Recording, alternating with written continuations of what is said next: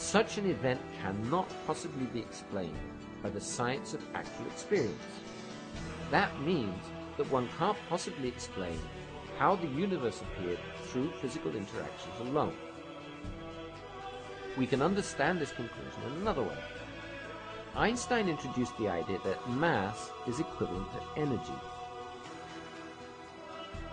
And we know that all energy must have an energetic source.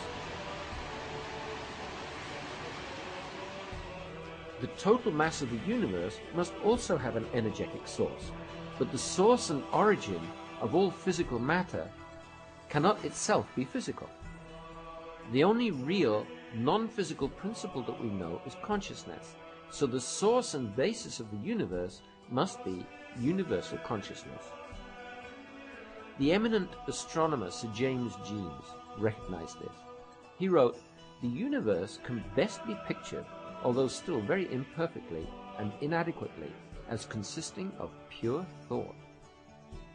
The universe begins to look more like a great thought than like a great machine.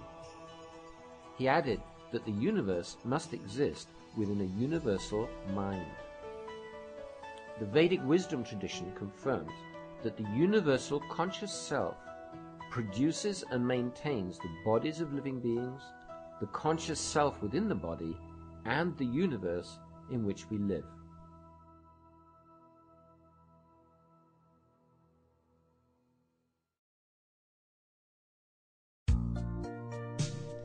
Now we come to the question of relationship.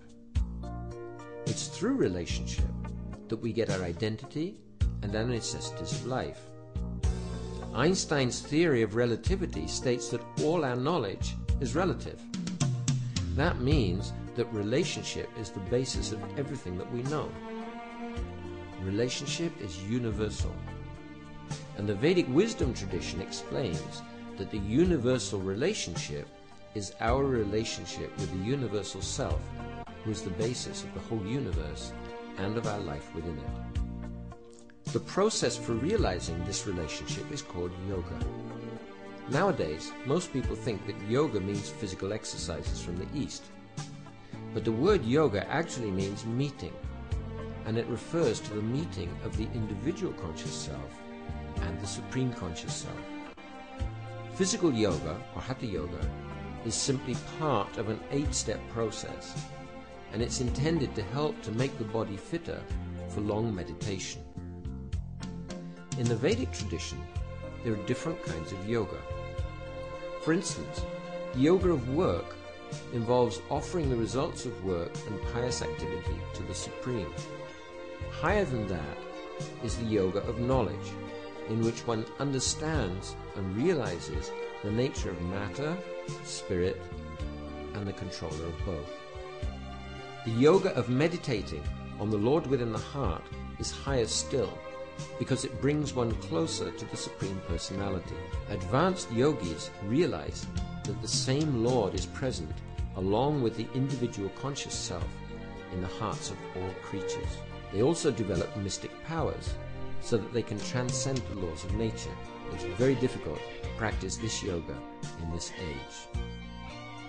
Bhagavad Gita and other Vedic literatures say that the very highest form of yoga is the yoga of divine loving service, or bhakti yoga. Bhakti yogis offer their activities, their minds, their hearts, and their very self in divine loving service to the Supreme Personality. This form of yoga gives the closest connection and relationship with the supremely lovable Supreme Personality. That's why it's known as the highest form of knowledge, and that's why it gives the highest happiness. The major theistic religions, such as Christianity, Islam, and Judaism, as well as the Vedic Vaishnav tradition, all teach this yoga of loving service in the form of worship, prayer, praise, meditation, and active service. The Vedic tradition teaches us that the most practical and effective bhakti process in this age is chanting the holy names of the Supreme Personality. Names such as Jehovah, Allah, Christ, Krishna, Govinda, and so on.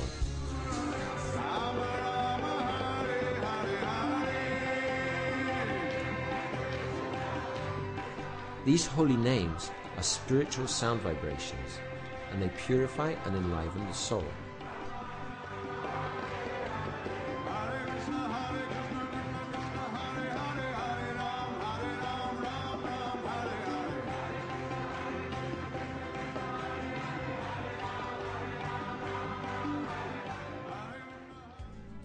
Now, what is the meaning and purpose of life?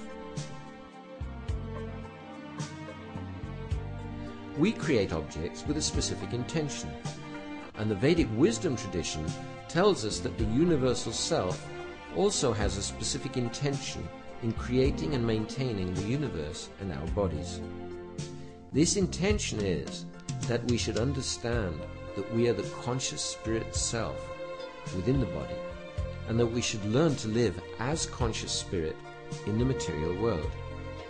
We're not actually part of this material world. We belong to the higher nature of pure consciousness, and we should learn how to go there and live there in pure love and happiness. Everybody wants peace and love. And here's the Vedic peace formula. Peace comes from knowing how the universal self creates and maintains our life.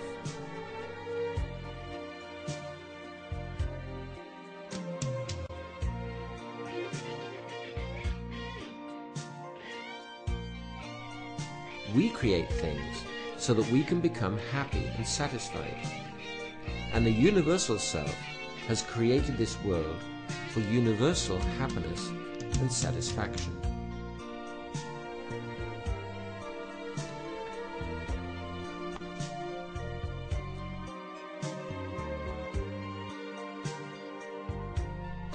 We satisfy the universal self in everything we do, the happier we'll be. The universal self has provided everything for our benefit and controls everything and everyone for their ultimate benefit. He's the closest and dearest friend of everyone, including the animals, the birds, the fishes, and the trees and plants. Everybody wants to love and be loved. Love will come, universal love, when we direct our tendency to love to our closest and dearest friend, the universal self. When we know His love for us, we will not need to make unreasonable demands on others, nor will we depend on them excessively. There will be no need to create distress for ourselves and for others. His love for everyone will flow through us, and we will be able to love all on behalf of the universal self. This is the actual process of universal love. That's how we can find peace. And that's how we can love each other truly and unconditionally. Then we can find happiness in loving relationships.